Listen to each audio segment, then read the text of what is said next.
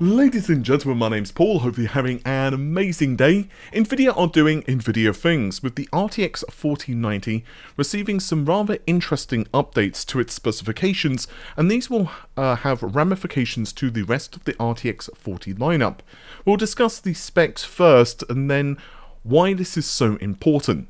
So AD102300 features 16,128 CUDA cores, or FP32, as Kopite7kimi has written here in his tweet. Combine this with 24 gigabytes of GDDR6X memory, and this memory is running at 21 Gbps because again it's GDDR6X. Now notice we are looking at 450 watts and two times the performance of an RTX 3090. Further down, he clarifies that yes, this is 126 SMs. We know this anyway because there are 128 CUDA cores per SM, making things really simple here. But the full implementation of AD102 is actually 144 SMs. In yesterday's video, I was also discussing the release date update as well as some of my own performance info with Kopite7kimi stating that we're going to be looking at the launch of the RTX 40 series being earlier than anticipated, sometime between, well, basically July or August, as he said, early Q3.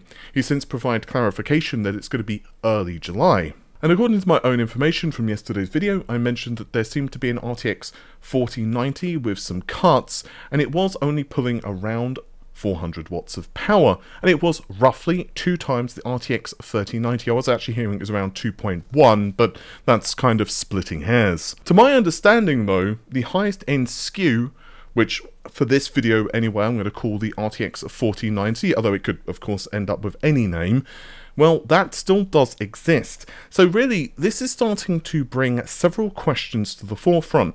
Are we going to see the cut down versions launch first, and then the higher end versions launch later. This potentially could be something to do with yields. Maybe Nvidia just want to kind of hedge their bets there. But another possibility, and to be honest, the one I'm more leaning towards, is when AMD launches Navi 31, which is going to be later this year. Basically, Nvidia can convincingly take the performance crown now, and they, of course, know that most people at this stage anyway they're not so interested in the RTX 30 series or the RX 6000 series. eBay is being flooded with tons of graphics cards because, of course, well, basically mining is essentially dead at the moment on GPUs for a plethora of reasons. So basically, NVIDIA can generate all of the hype, and then depending what happens with RDNA 3, they can adjust the clock frequency of the 4090 Ti or whatever it ends up being called. And again, I had been hearing around 600 watts was the target TDP for this. Now, the other obvious point that was made by Kopite here is RDNA 3 was disappointing. Well, actually, he says, I am disappointed with RDNA 3. I don't know what he's personally heard about this, but I don't believe RDNA 3 is going to be disappointing. Now, again, he could have information that is correct and my information could be wrong, or perhaps he had initially thought RDNA 3 was going to have an even higher performance target. I've discussed N31 and 33 to death multiple times on this channel before, and I don't really want to go into the whole spiel about these cards again and again and again and again. But long story short, I'm hearing around 2.5 times the performance increase over the RX 6900 XT.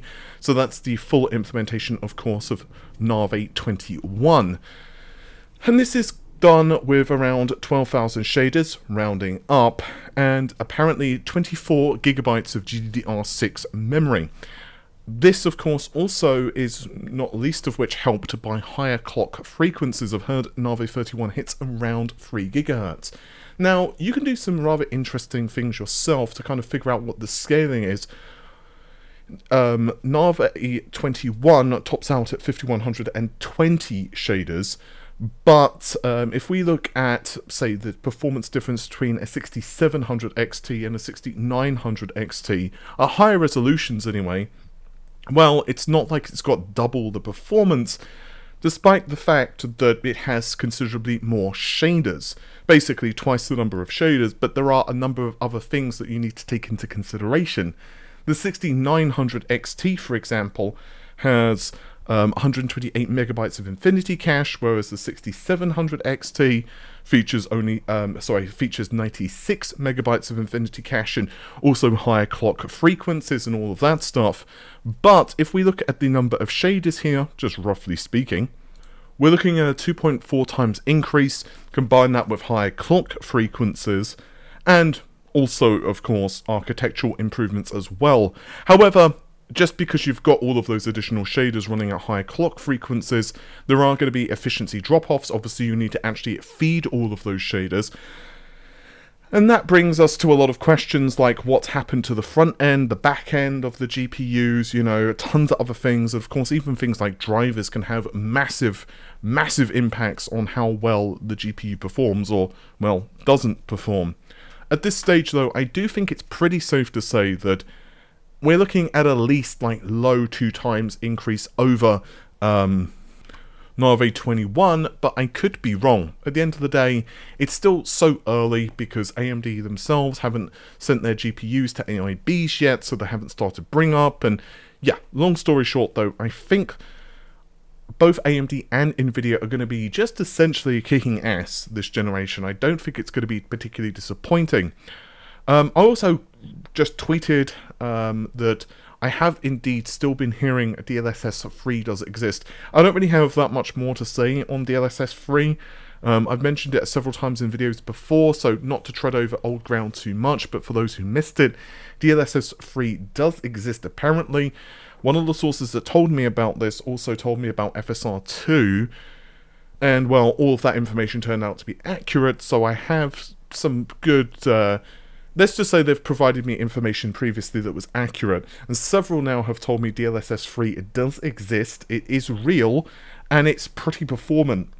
Curiously though, while DLSS continues to be better in terms of image quality and starts to resolve things like, you know, very fine edges better and so on and so on, and of course performance also does see an increase, I was told that ray tracing performance sees an actually better increase than raster. There are uh, multi multiple ways that this could be like handled honestly. It could be everything from fewer rays being used in the scene, or perhaps advanced denoising algorithms. Honestly, we could speculate all day, but yeah, I am hearing ray tracing sees a better increase with uh, DLSS enabled. I can pretty much say that from a logical perspective of what Nvidia are trying to achieve with their marketing, this does make sense. As Nvidia at this stage just want everything to be about ray tracing. You know, they they're doubling, quadrupling, they're doing everything down on ray tracing. But yeah, I think that's just about it for this particular video. I have to say, I am super hyped to see what the next generation of products from both AMD and Nvidia are going to be bringing to the table. Intel too with their CPUs, they are looking really good actually. There are disappointments, of course, at the moment with Intel's Arc. It seems like it's kind of being released in China only at the moment, but I do feel in the longer term Intel will make a comeback with graphics. I think that they will do okay. But yeah, they're just so far behind, of course, both AMD and Nvidia. And when you think about it, Nvidia themselves, they really are needing to fight tooth and nail at this stage against AMD. I think we can all agree that Nvidia have not faced such competition in quite some time. So it's going to be very interesting to see how this is going to change the roadmaps of all of these companies over the next several years. With that said, hopefully you have enjoyed the video. It's just been a shorter one for today as I have been dealing with stuff in the real world. But if you enjoyed it, you know what to do. Leave a likey on the video and I will see you soon. Take care of yourselves. Bye for now.